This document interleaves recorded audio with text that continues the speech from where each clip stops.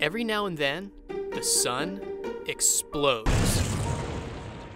Without warning, blazing hot plasma spews into the solar system with the force of about 20 million nuclear bombs. Depending on the direction of the explosion, that plasma could head straight for Earth.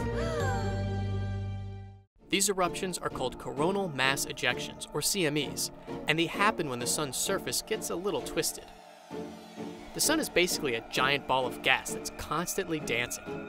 When the sun gets a little too excited, it twists its magnetic field too far, which causes it to kink. Remember when phones had cords and they'd get all tangled when you walk and talk? It's kind of like that. Eventually, the tension builds and the kink snaps, and the plasma explodes into a terrifying cloud of protons and electrons. Solar wind then takes the cloud of piping hot particles on a ride through the solar system. The plasma can travel at speeds up to 7 million miles per hour, and if the CME is aimed at Earth, it could take as little as 12 hours to slam into our planet. Yikes.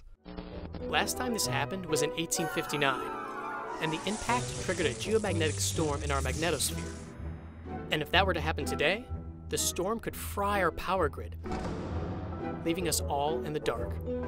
So the next time the sun decides to explode, Let's just hope it's not aimed at us.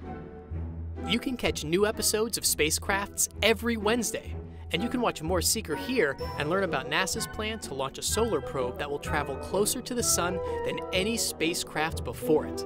Thanks for watching, and make sure to subscribe.